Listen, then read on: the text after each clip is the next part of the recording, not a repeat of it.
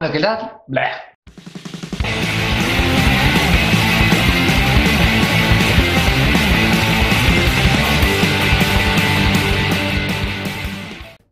Hola, ¿qué tal? Bienvenidos a un nuevo capítulo del canal Simonuca con Mosca.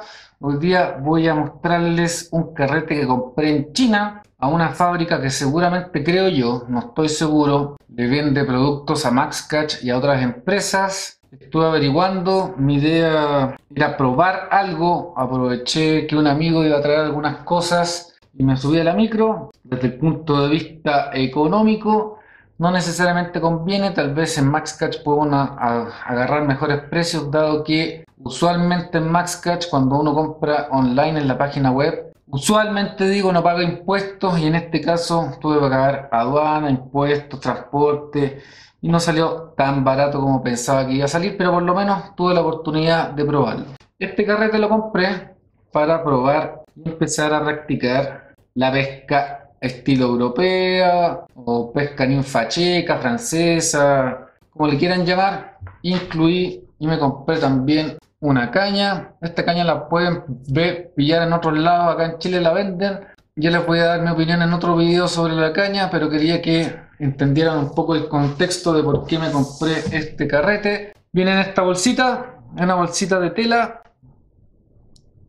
este es el carrete, es un carrete que se ve bien hecho, el freno es relativamente bueno, lo estuve, como les digo, estuve usando durante más vacaciones. Todo es de aluminio, la bobina es intercambiable, esto es un tornillo que si uno gira,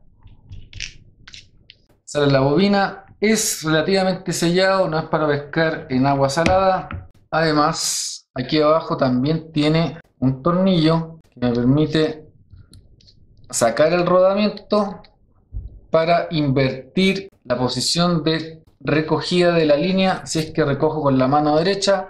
Por defecto este carrete viene con recogida con la mano izquierda comentarles que es muy probable si ven van al sitio del Max Catch que sea un carrete que también vende Max Catch con la diferencia que tiene el logo de Max Catch y la empresa china donde me lo compré este carrete indican que si compro más de 50 puedo ponerle el logo y la marca que quiera. No tiene ninguna indicación, no tiene marca, no tiene número, no tiene nada, es un carrete 3.4 y lo vamos a comparar con otro carrete 3.4 que tengo acá, es el Remington Rice, también es 3.4 para que se hagan una idea de tamaño, ya los voy, ya voy a pesar y también acá tengo el Lamson Ulapuris 1 es la primera generación, perdón, el Lamson Lightspeed es la primera generación de Lamson para que veamos cuánto pesa.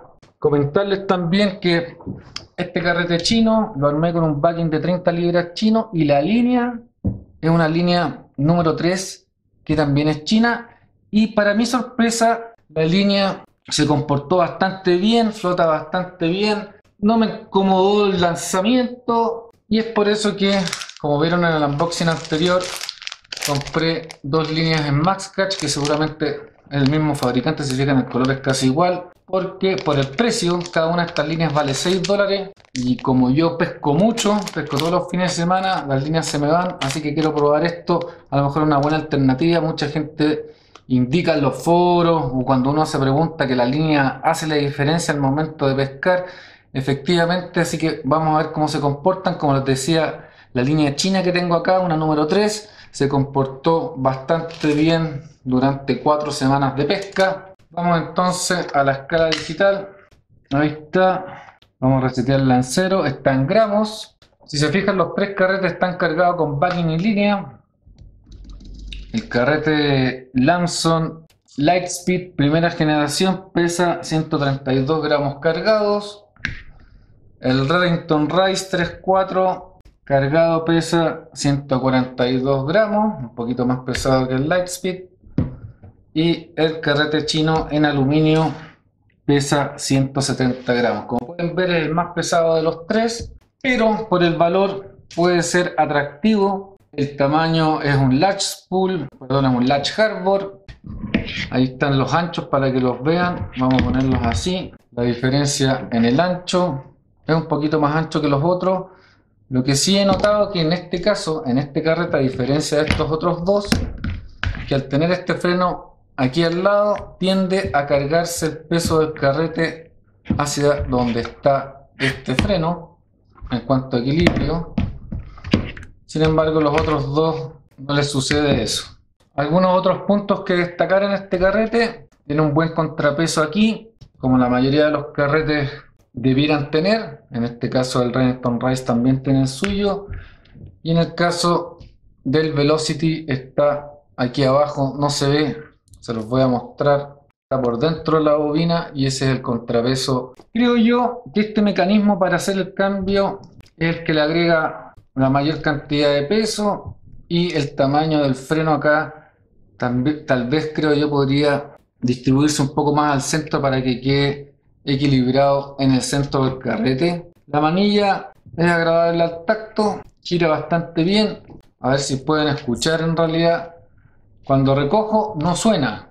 Al recoger no suena. La chicharra solamente suena cuando el freno se activa. En el caso del Lanson suena hacia los dos lados y en el caso de el Remington Race lo mismo. Creo yo que es una buena alternativa si están tratando de armar un equipo relativamente liviano.